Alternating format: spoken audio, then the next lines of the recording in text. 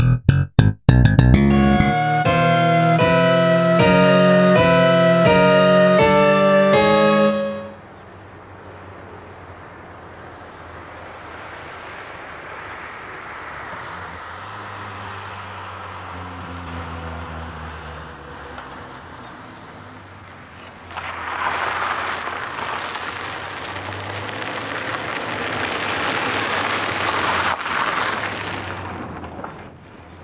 Bonjour amis agents de l'EDF, vous qui nous apportez la lumière, alors vous les releveurs de compteurs, vous les coupeurs d'électricité, sachez que vous êtes les plus exposés aux morsures des chiens.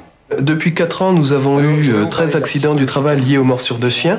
Nous avons décidé deux axes, en interne et en externe. En interne, auprès de nos agents, nous avons fait venir le commandant Antôme de l'école des maîtres chiens de gendarmerie de Gramma. Et en externe, nous avons envoyé une enveloppe hein, à tous nos clients sur laquelle figure le graphisme d'un chien, euh, un graphisme assez humoristique, pour sensibiliser notre clientèle au fait que ben, nous sommes à leur service, mais qu'ils doivent faire attention à leurs chiens, puisque quand même nos agents sont régulièrement agressés, comme les agents des PTT d'ailleurs. Nos agents sont à votre service, dites-le à votre chien, merci. Évitez de regarder un chien fixement dans les yeux, il pourrait prendre ça pour de la provocation, bien qu'on vous dise de ne jamais quitter un chien des yeux pour éviter de vous faire mordre. Souvent, et ça c'est les maîtres qui font cette erreur, ils placent la niche près du compteur où vous allez relever. Alors, la première fois que vous passez, demandez gentiment au maître de bien vouloir changer la niche de place, de façon que vous ne soyez pas dans la ligne critique du chien, cette ligne, fameuse ligne où il a décidé de mordre. Lorsque nous arrivons en campagne chez des clients, nous avons l'habitude de, nous faire entendre par euh, personne de la voiture. Et lorsque je suis arrivé chez cette cliente-là, euh, elle est sortie et en même temps, euh, sa meute de chiens. Parmi ces chiens, un m'a mordu à la cuisse. Elle ne m'a pas cru. Et devant les faits, j'étais obligé, de, comme on dit, de, baisser le pantalon pour lui faire voir où j'avais été mordu. Mais je continue cependant à relever son compteur tous les six mois et malgré cela, nous, avons de très bons rapports. Alors, ça va mieux? Ça va mieux. La blessure, euh, c'est du passé. C'est du passé. Tiens, Dick. Vous êtes allé voir le docteur? Ben oui, je suis allé voir le docteur euh, de Pantôme, là. Il a fait une piqûre. Hmm. Et euh, je pense que vous avez dû être convoqué également par EDF. Je m'appelle Gaston Mandoul, je suis retraité des industries électriques et gazières depuis trois ans. Et j'ai à mon palmarès sept morsures de chien. Heureusement, euh, sans gravité.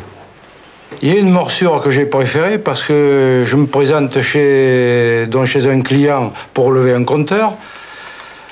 À l'époque, on portait des pantalons diffuso. La chienne me mord euh, derrière le genou. Euh, l'hôtesse de la maison a voulu me soigner, m'a demandé de relever mon pantalon. Ben, j'ai pas pu, j'étais obligé de le baisser. Donc. Puis deux minutes après, euh, la morsure du chien, on n'y pensait plus.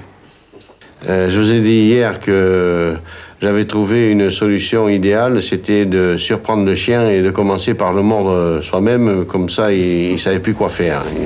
Mais ça, c'est la note humoristique qu'on a à l'EDF souvent. Défiez-vous d'animaux ou à la démarche Christian Garcia, mon maître, ancien releveur. J'ai été mordu pendant mon activité euh, trois fois. Par euh, la première fois c'était un griffon, la deuxième fois un berger allemand, et la troisième fois c'était un petit un épagneul euh, breton.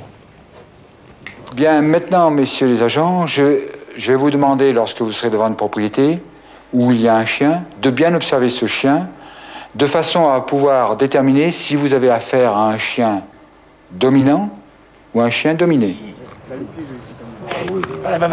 Si vous avez affaire à un chien dominant, vous le verrez bien camper sur ses pattes, le buste haut, les oreilles dressées, le regard fixe devant lui et le fouet, ce que nous appelons vulgairement la queue, à l'horizontale, voire même verticale et très enroulée. Apparemment, euh, ces cours euh, ont porté leurs fruits puisque les accidents sont, dus aux morsures de chiens sont quand même en nette régression sur le centre de Périgueux.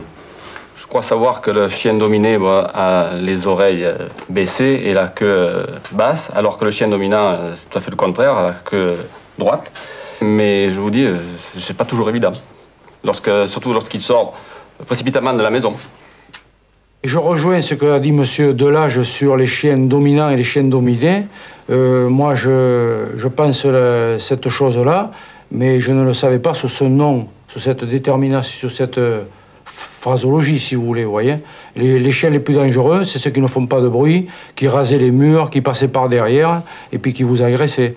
Les chiens qui faisaient du bruit, ma foi, euh, sont moins dangereux. J'affectionne particulièrement le montagne des Pyrénées et également le griffon qui, qui m'a agressé sournoisement dans, le dos, mais sans aucune conséquence, euh, sans aucune blessure.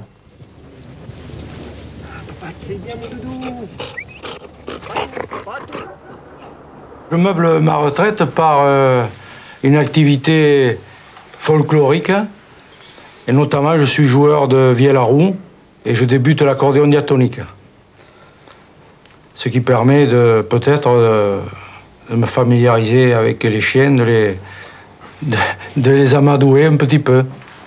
Au moins, je pourrais conseiller à mes camarades d'amener au moins une cassette, sinon pas, s'ils ne savent pas jouer de vielle à roue ou de cornemuse, hein, d'amener de la musique folklorique, hein, et on ne sait jamais. C'est peut-être une thérapeutique valable contre les morsures de chiens.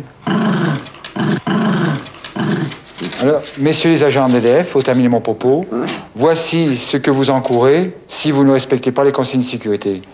Pour avoir voulu aller trop vite en besogne, je me suis fait pincer. Et tout ça en voulant moi-même respecter les mesures de sécurité. Alors faites très attention afin que ce genre de mésaventure ne vous arrive pas. Nos agents sont à votre service. Dites-le à votre chien merci. Ah ben c'est pas mal.